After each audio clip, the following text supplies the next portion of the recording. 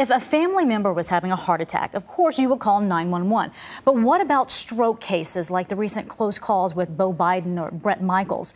A new study found that many do not call 911 and instead drive the victim to the hospital themselves, a delay that can lead to irreversible brain damage or even death. Joining us now with life-saving information you should know about strokes, the director of the St. Luke's Roosevelt Stroke Center here in Manhattan, Dr. Carolyn Brockington. Good morning to you. Good morning. Well, first help us understand what people experience when they go through a stroke. Certainly. A stroke is an injury to the brain, so it's caused from an interruption of blood flow. If not enough blood gets to the brain, you develop symptoms, and they're usually very sudden. Who's most at risk for this?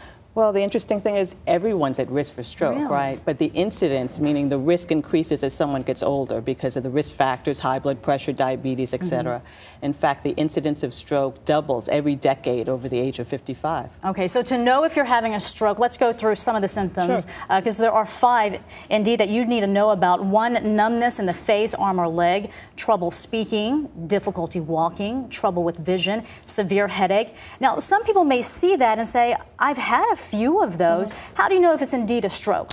Well, usually the symptoms are very sudden, right? This isn't something over days and months and weeks. This is over seconds to minutes. And so many times it's severe. All of a sudden you can't move your arm.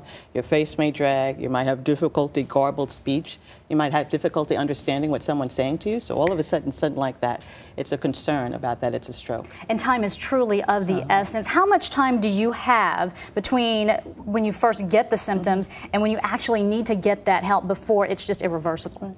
Well, we say in stroke treatment, time is brain, right? Every second that ticks by, the brain's not getting enough blood flow, so you could have permanent injury. Mm. So you need to go in right away. It's not a time to call your doctor, look things up in the internet. It's time to call 911, get to the closest emergency room for treatment. So is that study correct when it says don't drive the person to the hospital? That's right. 911 is appropriate because there are things that they do on the way to the hospital, et cetera, to try to stabilize things as well. So it's very important to get to the hospital immediately. We've heard about a lot of people having this, including uh, the vice president's son, Beau mm. Biden a mild stroke, only 41 years old. Uh, does this happen to people who are seemingly young and healthy? You know, everybody's surprised because he was so young, but it's not unusual that someone young has a stroke. We really look for different things when people are younger. Sometimes people have a problem with their artery, an injury to the artery, which is the blood vessel that brings blood to the brain, sometimes a problem with the heart, sometimes a blood clotting problem.